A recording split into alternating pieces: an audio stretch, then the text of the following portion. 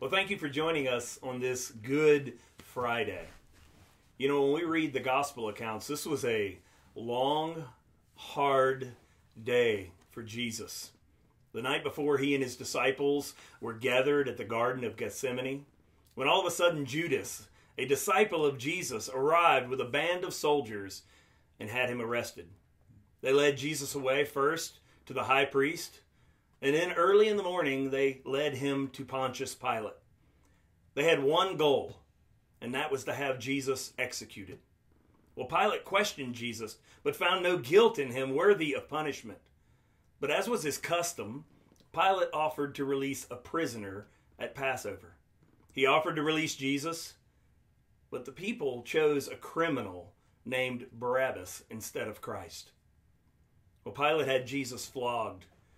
I don't know how much you know about flogging, but they would take a whip made up of several strips of leather, and at the end of each piece of leather would be bone fragments and metal. They would take this instrument of torture and whip a person across the back with it.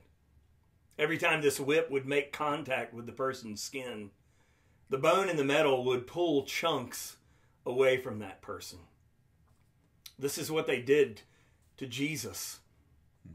And as if that wasn't enough, the soldiers then took him and made a crown of thorns and put it on his head. They clothed him with a purple robe, mocked him as king of the Jews, and then led him out once again in front of the people. Well, Pilate once again declared that he had found no guilt in Jesus whatsoever. But when the chief priests saw Jesus and the officers, they yelled, Crucify him! Crucify him! Pilate told him, I find no guilt in him. You crucify him. He led Jesus back into his headquarters, once again questioned him even more. Pilate again sought to release Jesus, but the crowds cried out even more. And in the end, Pilate gave in to the crowd's desires and had Jesus crucified. They took Jesus out, they made him carry his own cross, and led him to a place called Golgotha, the place of the skull. And there they crucified him, nailing him to that cross. They put a sign over his head. It read, Jesus of Nazareth, King of the Jews. They took his clothes, divided them up, and cast lots for his tunic. There Jesus was, dying the death we deserve, dying in our place, paying the price you and I owe. Well, knowing that he had now accomplished the purpose for which his Father had sent him, Jesus said, I thirst. They held a sponge uh, full of sour wine up to his mouth, and when Jesus had received it, he said, It is finished. He bowed his head, and Jesus was dead.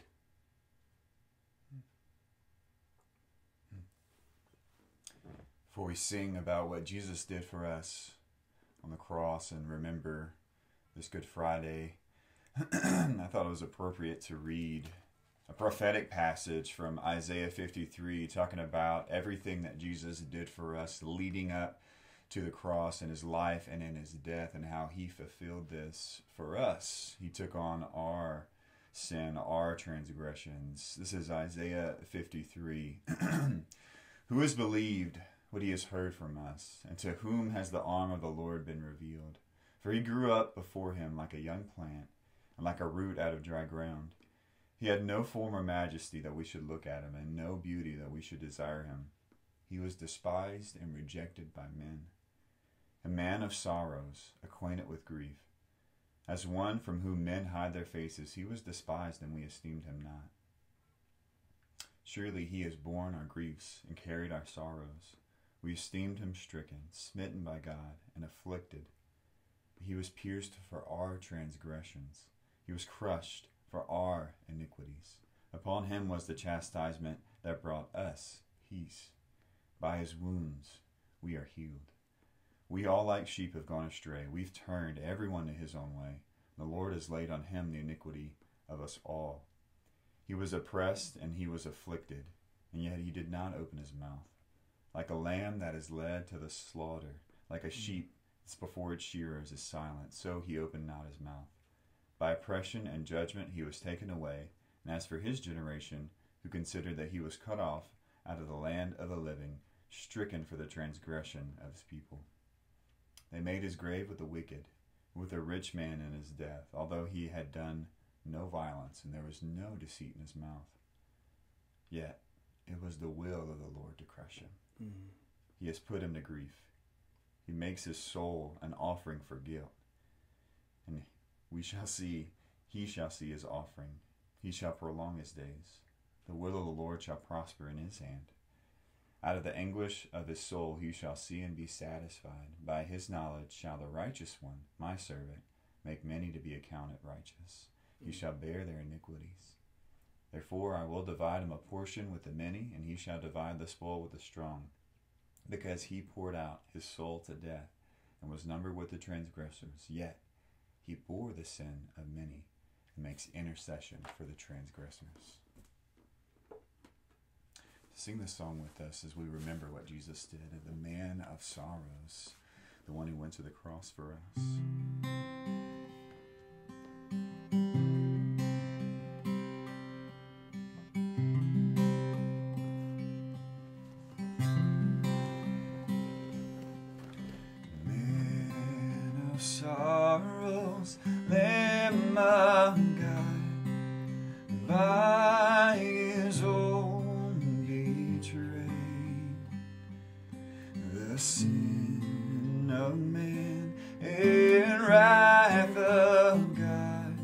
Has been on Jesus laid.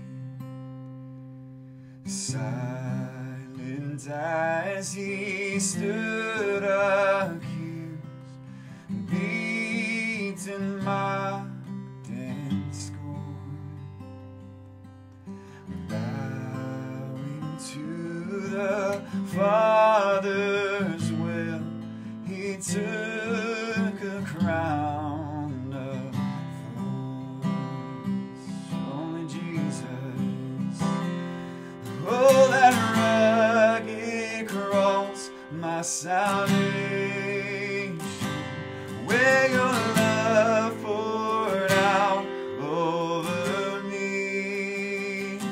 Now my soul cries out, Hallelujah, praise and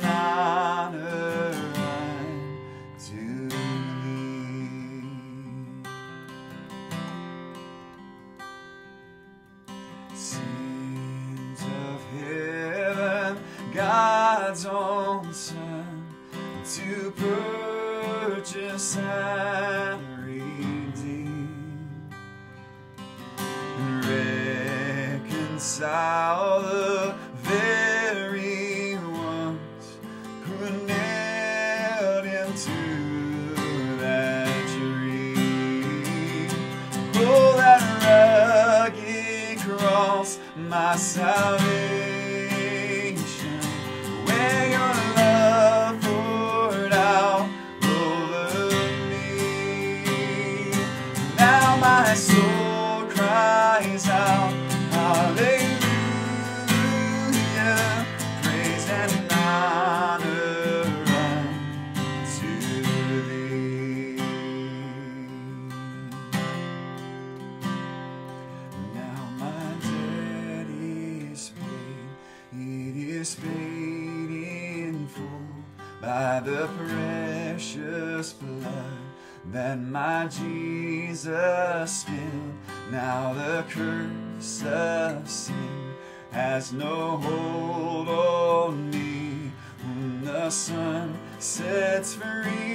oh, is free indeed. Now my debt is paid, it is paid in full by the precious blood that my Jesus spilled. Now the curse of sin has no hold on me. When the Son sets free, oh, is free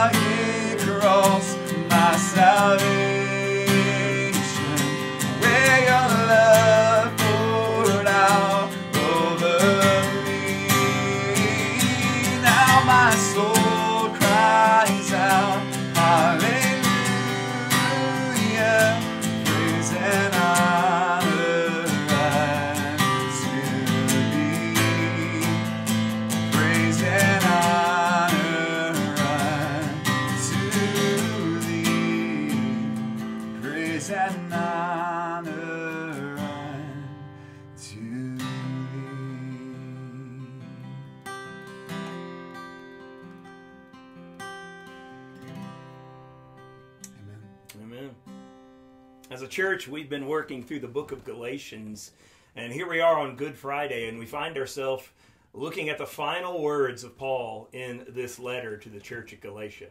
If you have a Bible with me, I'm going to ask that you open it to Galatians chapter 6, verses 11 through 18. Let's read these words and then reflect on them together on this Good Friday. Paul says, See with what large letters I am writing to you with my own hand. It is those who want to make a good showing in the flesh who would force you to be circumcised, and only in order that they may not be persecuted for the cross of Christ. For even those who are circumcised do not themselves keep the law, but they desire to have you circumcised that they may boast in your flesh. But far be it from me to boast except in the cross of our Lord Jesus Christ, by which the world has been crucified to me and I to the world. For neither circumcision counts for anything, nor uncircumcision, but a new creation. And as for all who walk by this rule, peace and mercy be upon them and upon the Israel of God. From now on, let no one cause me trouble, for I bear on my body the marks of Jesus. The grace of our Lord Jesus Christ be with your spirit, brothers. Amen. So here we are on Good Friday the day when we find ourselves surveying the wondrous cross. And what is the one and only thing that Paul says he boasts in? The cross of our Lord Jesus Christ. You know, some people boast in their money, their fame, their power, their possessions, their performance, their family, their heritage. I mean, you think about it. Paul, before he was saved by the grace of God through faith in Christ's work on the cross, Paul would have probably boasted in his Jewish heritage, his religious works, his religious position, but not anymore. After his encounter with the risen Savior, Paul's aim was to preach Christ crucified, to boast only in the cross of Christ. Well, his opponents, well, let's just say their motives were not the same. As Paul closed out this letter, he reveals to his readers the impure motives of those men who were peddling a false gospel and adding the work of man to the work of Christ on the cross. Now, during this time, it was not unusual for somebody writing a letter to use what was called an amanuensis. Today we would call this a secretary. And Paul would often use somebody to write his letters as he told them what to write. Well, as was similar to things Paul had done in others' letters, what he does in this letter is he grabs the writing utensil from his amanuensis and, begins closing out this letter himself. Why? Because he wanted us to listen to what he's about to say. Through these final verses, Paul summarizes some of the major themes of this letter. In verses 11 through 13, as he talks about his opponent's impure motives. Uh, he reveals some some truths that he's been teaching throughout the letter. He told them about his opponents that they they were compelling them to be circumcised so that they would actually look good in others' eyes. See, they accused Paul at the beginning of the letter in Galatians 1:10 of being a person who was trying to please man. When the truth was, this is what they were trying to do. Paul says they wanted to make a good showing. They were compelling the Galatians to be circumcised so they would not be persecuted for preaching the cross of Christ like Paul. See, Paul was being persecuted for preaching Christ did all the work, that justification came through faith in Christ alone and not by circumcision or keeping the law of Moses. Well, his opponents didn't want to be persecuted, so they preached Christ plus circumcision to avoid persecution. So they wanted to make a good showing. They wanted to avoid persecution. They were just a bunch of hypocrites. See, Paul says they were compelling others to keep the law when they themselves weren't even keeping it. They were forcing circumcision on those Christians because they wanted to brag to others about how many proselytes they had gained. Kind of like today, if a leader brags about how many people in his church were saved or baptized. This is all they were worried about. They were just, they wanted to receive the praise of man. This is all they did. They sought to please and receive the praise of man. They were boasting in the flesh. Not Paul. He wasn't seeking the praise of man. Even though persecution was his plight, he continued to preach Christ crucified. While others boasted in the flesh, in the flesh of others, Paul no longer boasted in the flesh. As a result of God's grace in his life, Paul boasted in one thing. And he says in verse 14, Far be it from me to boast except in the cross of our Lord Jesus Christ. You know, Caleb, when you think about this, you've been with us, and we, as we've worked through this letter Paul wrote to the Galatians. Um, how does Paul boast only in the cross in this letter? Where do we see that? He does it all throughout the letter. Yeah, he does. It's been it's been a fun journey. He's been doing it time and time again, and it's kind of funny because as you and I have talked before, we're like, Paul's saying the same message again. Yeah. He's telling them to turn from like Galatians two sixteen. He clearly says, "Hey, you're justified through faith in Jesus, not by works." I mean, he clearly says you are justified through faith in Jesus Christ, and so he's boasting, "Hey, don't put your faith in works. Put your faith in Jesus." you know, I look at Galatians 3:13. You talk about boasting mm. in the cross. He says Christ redeemed us from the curse of the law by becoming a curse for us. For it's written, cursed is everyone who is hanged on a tree. So that in Christ Jesus the blessing of Abraham might come to the Gentiles, so that we might receive the promised spirit through faith. I mean, right there, he's talking about the cross. He's boasting in the cross. It is only through Christ's work on the cross that we are redeemed, that the curse is removed. hmm He took that for us. Yeah. And he continues on, uh, 11 Galatians 3.26, where he's talking about the law being our guardian. We were under the law. But then he says there in verse uh, 25, Now faith has come. We're no longer under the guardian. But then verse 26, For in Christ Jesus you are all sons of God through faith. So then he's boasting in Jesus. And he's saying, Hey, you, I'm not boasting in the law. Like, no, you're under a new guardian. That is through Jesus, faith in Jesus. Now you're you're God's. You're under Him. You're His. You're sons, daughters of God. Galatians 5 1, a well known verse. Mm-hmm. For freedom, Christ has set us free. I, I love those words. And you think about what Christ has done on the cross for us. I mean, He has set us free mm-hmm. from the power of sin, from the penalty of sin. Mm-hmm. A- And Paul, again, is reminding us of this freedom we have in Christ through Christ's work on the cross. And we're not submitting ourselves again to slavery, just like he brings up again here in uh, chapter 6, verse 14. He says, For the world. The world has no power. You know, the world doesn't have power over us, and I'm not going to submit to the world's ways and try to go back in slavery. No, I'm going to boast and walk in the way of Jesus and have faith in Him alone. Well, I love that you brought that up. Think about the world, chapter 6, verse 14. Far be it from me to boast except in the cross of our Lord Jesus Christ, by which the world has been crucified to me, and I to the world. Man, there again, boasting in the cross.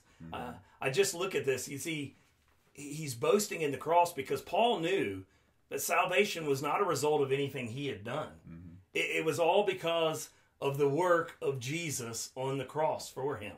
Uh, I, I read this week, Tony Merida wrote this quote. He said, Boasting in the cross implies that you place your confidence in Christ and his work for your salvation alone. You're, you're not trusting in your righteous or religious acts. He said, Cross exalters rest everything in what Christ has done. Cross exalters believe that Jesus lived the life we could not live and died the death we should have died. Those who boast in the cross, he said, simply say this This is for my peace. Jesus died in my place. See, boasting in the cross implies that God accepts you because of the work of Christ. You can say this because of the cross, the wrath of God will not be poured out on you. Because of the cross, I'm united with Christ. Because of the cross, I'm dead to this world and all its claims on my life. Because of the cross, he says, I'm a new creation. He closed out with this Everything we enjoy as new creations is owing to the cross. Do you enjoy justification?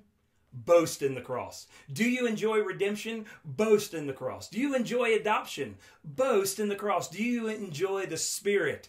Boast in the cross. Revel in it. Rejoice in it. Live for it. Paul boasted only in the cross.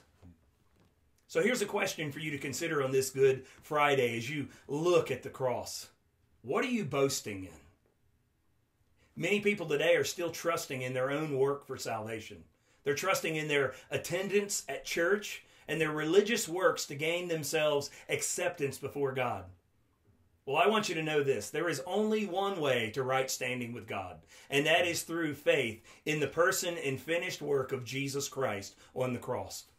I pray today as you look at the cross, survey the work that Christ has done, hear those words, it is finished from his Son, that you turn from your sins and trust in him, the only one who can save you from your sins.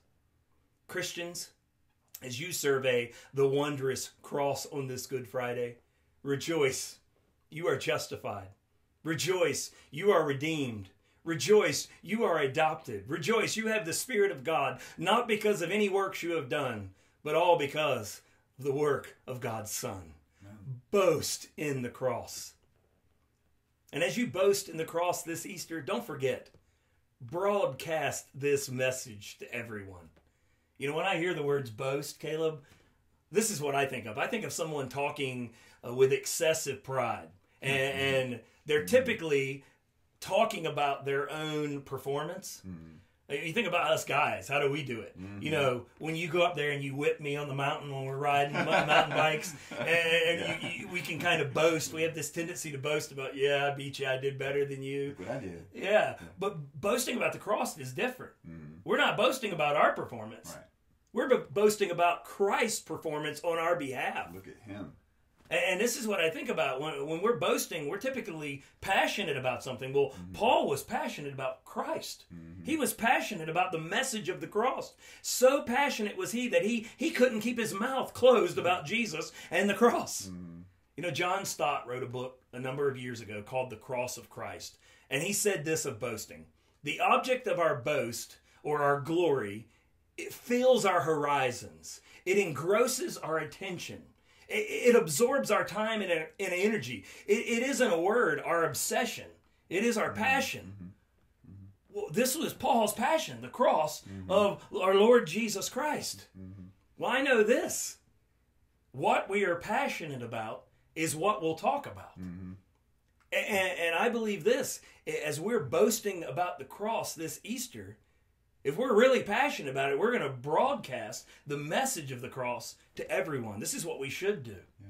And this is what you should do. And I know many of you are hearing this and you're thinking to yourself, well, how am I supposed to broadcast the message of the cross in a season of social distancing? Mm-hmm. Caleb and I are kind of glad you asked because yeah. uh, during this season of social distancing, use social media. You know, this pandemic has many people fearing Many people looking for answers, looking and searching for hope. Christ is the answer. Christ is that hope. And we have this message, the message of the cross that we can share with them. So here's our challenge to you on this Good Friday. And we're calling it this, and this is very profound, and we've really thought about this a lot. We're just, you're going to see our creativity pour out in this, and we're calling it uh, Tell Your Testimony. Uh, and we're actually going to encourage you to use that when you're sharing this. Here's what we want you to do. Beginning this Sunday, Easter Sunday, and running through all next week, we're asking that every one of you record and upload a two minute or less video of your testimony to social media. You can use your phone, your iPhone, your Android, you can use your iPad, whatever you need to to record this video. So record your testimony. Remember, two minutes or less share it on social media. It doesn't matter. You can use what Instagram. You can use Facebook. Facebook. So so share it out there. And in your video, we're, asking you to. Uh, to also, as you share your testimony, give people an opportunity to respond to the gospel. So, so invite them to contact you. Mm-hmm. I know on mm-hmm. Facebook you can say message me. Yeah, DM me. yeah, me. D- DM me. Thank you. Uh, I got to get these little things right, down. Uh, but yeah, you, you can have people contact you, and, and, then you can talk to them about how they can receive Jesus as their Lord and Savior. So if you're new to sharing your testimony, uh, here are kind of four things that I want you to remember uh, as you do this. First, tell them a little bit about your life before Christ. Mm-hmm. Uh, second, Tell them about your conversion. When, when you heard the gospel, when you responded to the gospel, that's, that's very important. It's very important. important. We, need, we need to tell people the gospel. Tell them about your life after Christ. Maybe how Christ has allowed you by his power to overcome sin in your life or, or whatever that may look like. And then, fourth, give them an opportunity to respond to the gospel. Mm-hmm. And here's what we're going to do for you. Here in the next day or so, we're going to send out a sample video for you so you can watch it and see how this works and know how to do this. But, but we're hoping all of you will will join us in boasting about the cross this Easter by broadcasting the message of the cross to everyone. Yeah. So enjoy your Good Friday. And don't forget, Jesus didn't remain in the grave. That's right. And we're going to talk about this on Resurrection Sunday. We hope to see you at 9 online this Easter Sunday. Yeah. Heavenly Father, we thank you. We thank you, Lord, for the work that you have done, the the work that Jesus has done on the cross for us. God, today as we, as that song says, survey the wondrous cross, mm-hmm. Lord, may this remind all of us, man, it's nothing we've done. It's all that He has done for us. And may we, as your children, as we boast in this cross, may we broadcast the message of the cross to all those who are lost. I pray that we see many people come to know you as Lord and Savior, even during this season of social distancing. God, thank you again for this time that we get to spend together worshiping. I pray for all those families who are listening to this. And we pray these things in Jesus' name. Amen. Amen.